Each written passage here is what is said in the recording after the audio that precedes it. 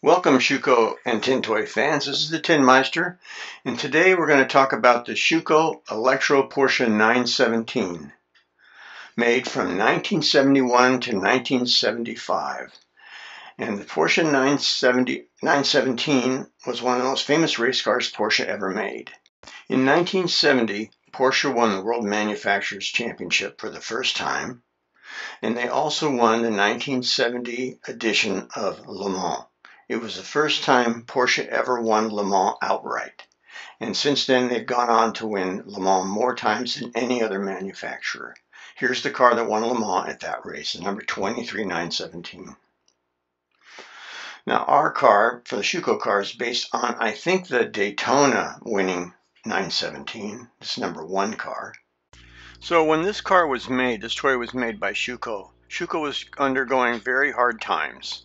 They were in competition with other manufacturers who were making more realistic cars than Schuco had made in the past. They were also making plastic toys. So these toys from Schuco, these last toys from Schuco, were plastic and much more realistic than previous Schuco toys. So this car was made up until 1975, and Schuco went out of business in 1976. They just couldn't uh, stand the competition from other uh, manufacturers who are making less expensive toys. You can see this, the plastic is, is very well made here on this uh, 917, but it really doesn't have the charm and sophistication of the earlier metal cars that Schuco made. So to give it some of that uh, Schuco-esque kind of uh, special uniqueness, they did a couple things. They made this car very realistic, and they also made it move, and they made it go forward and backward, and they also made it sound somewhat like a real 917. And we'll show you that in a little while. So here are a few more still pictures of the Schuco uh, 917, and we'll get into the instructions in just a moment.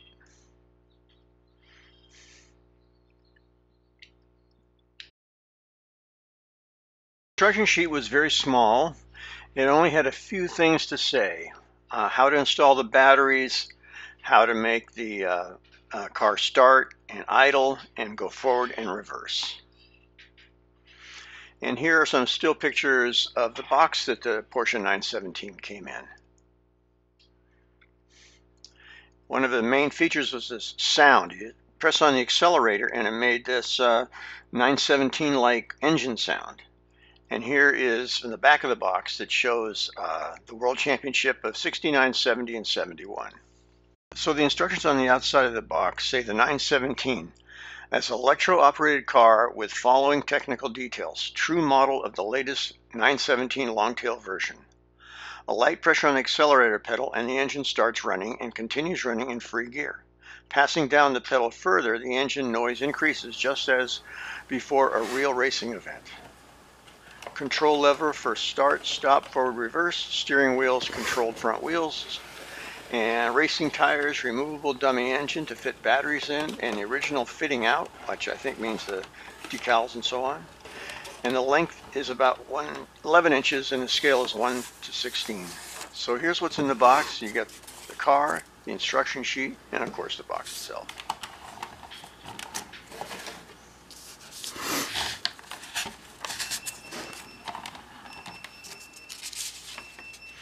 Yeah, so at about 11 inches long, it's a pretty pretty sizable car, pretty sizable toy. That made it pretty desirable for kids, but it was probably fairly expensive in the day. Here's the front of the box. And the side where you put the batteries in, the sound it makes, and the start, uh, the forward, reverse, and neutral. And there's that picture of the 917 in the pits, probably at Sebring, maybe Daytona, not sure.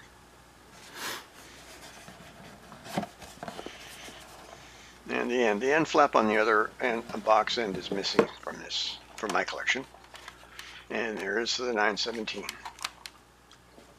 Realistic uh, Gulf decals, realistic uh, colors and shape of all the various components of the body. And this is the long tail version of the Porsche 917.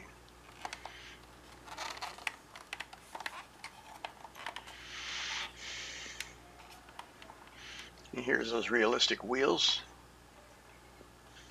It says Continental and Schuco.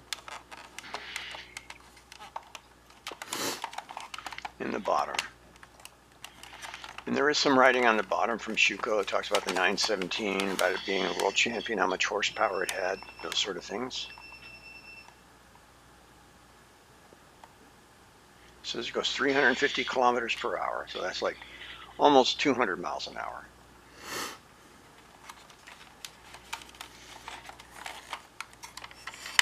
And there's those going doors, flip up. You get access to the interior where the accelerator pedal is. And in a moment we'll show you this thing in action.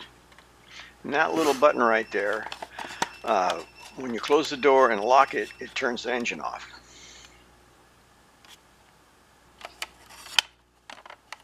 There you go. And of course the other side opens.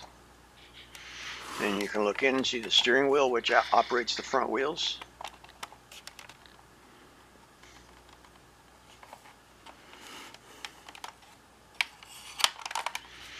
Okay, so let's put that down and see what's up next. Let's install some batteries and see how it goes. So you got two C-cell batteries, normal C-cells. Flip the car over. There's the forward, neutral, and reverse switch. Put it in neutral. There's a little tab there. You push the tab in or to the front of the car. Push it towards the front of the car and lift off the uh, replica motor. And inside is where the batteries would be fitted.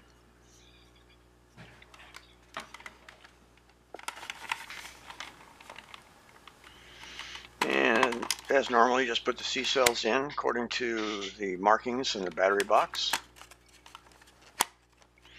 And you reinstall the replica motor.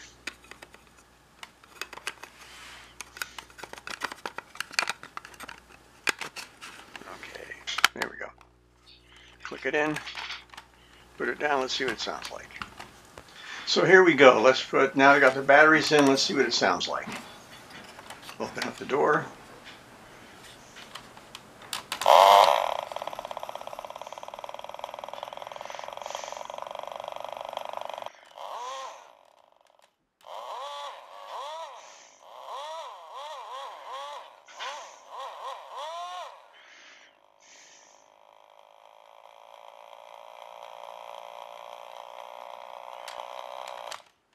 If you click it down, it locks and the engine stops. So we'll open it up again, start it up.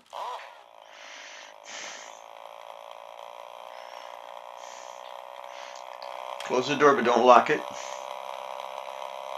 Put it in forward. And there she goes. Neutral. Reverse.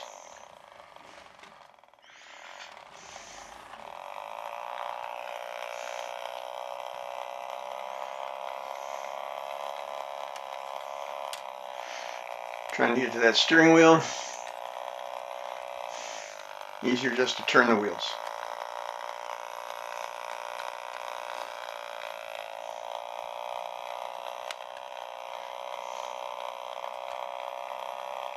Rev it up. Ready for racing.